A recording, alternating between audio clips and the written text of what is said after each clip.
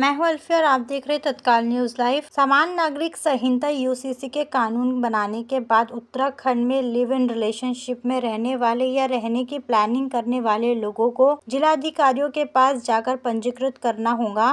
वहीं साथ में रहने की इच्छा रखने वाले 21 वर्ष से कम उम्र के लोगों के लिए माता पिता की सहमति आवश्यक तो होंगी। ऐसे रिश्तों का अनिवार्य पंजीकरण उन व्यक्तियों पर लागू होगा जो उत्तराखंड के किसी भी निवासी राज्य के बाहर लिव इन रिलेशनशिप में है। बिल में ये भी प्रस्ताव है कि लिव इन रिलेशनशिप में उन मामलों में पंजीकृत नहीं किए जाएँगे जो नैतिकता के विरुद्ध है। यदि एक साथी विवाहित है या किसी अन्य रिश्ते में है, यदि एक साथी नाबालिग है और यदि एक साथी की सहमति ज़बरदस्ती धोखाधड़ी द्वारा प्राप्ति की गई थी या गलती बयानी पहचान के संबंध में की गई है तो पंजीकृत नहीं किया जाएगा।